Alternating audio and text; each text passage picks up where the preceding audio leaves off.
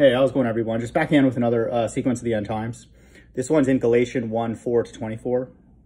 And um, incredible numerology in it as well.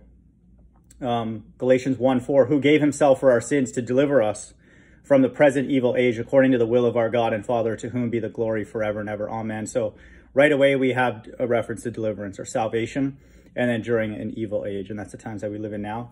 And it's in verse 1, 4, 14. That's for God's elect. So Check, we have that. I am astonished that you are so quickly deserting him who called you in the grace of Christ, who are turning to a different gospel. Not that there is another one, but there are some who trouble you and want to distort the gospel of Christ. So in the latter days, in the last days, this is talking about the um, the great tribulation period where there's even more evil increasing and then there's going to be more and more deception and then lies, you know, about who those visitors are, who the two witnesses are and that kind of thing. But even if we are but even if we or an angel from heaven should preach to, a, to you a gospel contrary to the one we preach you, let him be accursed. So this is reference in the last days of how angels will be preaching the gospel in Revelation 14, 6. And so in this case, it's saying don't listen to an angel if they're teaching something contrary. But again, this is foreshadowing what's going to happen in the last days, which I believe we're living in.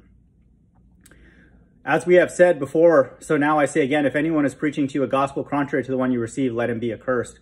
And so there's going to be even more deception during this time. Oh, the Bible is not true. It doesn't mean that and all that kind of stuff. These people are evil. These visitors are aliens and all that kind of stuff. So it's going to just increase. For now, I'm seeking the, for am I, for am I now seeking the approval of man or of God?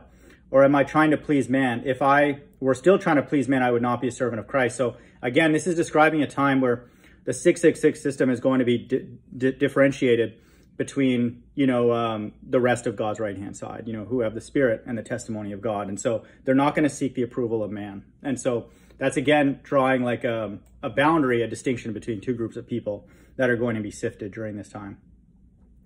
For I would have you know, brothers, that the gospel that was preached by me is not man's gospel, for I did not receive it from any man, nor was I taught it, but I received it through a revelation of Jesus Christ. For you have heard of my former life in Judaism, how I persecuted the church of God. This is again foreshadowing during the time of the Great Tribulation, God's the rest of God's right-hand side is going to be persecuted. And it says here violently, according to Revelation 12 as well. the, the dragon's going to be angry and going to make war with the remnant of their seed, you know, which is the rest of God's right-hand side. So this is, um, you know, coded language. How I persecuted the church of God violently and tried to destroy it. And I was advancing in Judaism beyond many of my own age among my people, so extremely zealous was I for the traditions of my fathers. But when he who had set me apart before I was born, and who called me by his grace, was pleased to reveal his son to me, in order that I might preach him among the Gentiles. So this is going to be a time, again, during the Great Tribulation, where um, the gospel is going to be preached worldwide to everybody. I did not immediately consult with anyone, nor did I go up to Jerusalem to those who were apostles before me, but I went away into Arabia and re returned again to Damascus. So this is, again, language in 17 talking about the apostles and returning to Jerusalem. And that's Christ returning with his elect. And so it's coded language. Then after three years, so in the in the last days, it's going to be, you know, three and a half years, you know, of the Great Tribulation period. But again, we see consistencies in the language.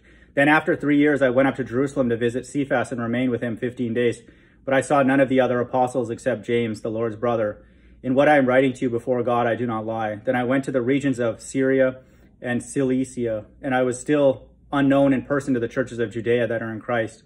They only were hearing it said, sorry, they only were hearing it said, he, he who used to persecute us is now preaching the faith he once tried to destroy, and they glorified God because of me. And so that's a symbolic reference to the kingdom, you know, where God will be glorified, you know, and that's in verse 24, 44. And so that's tailored for God's elect. And so here in Galatians 1, 4, we see again the sequence of the end times. Hope everyone's doing well. Bye.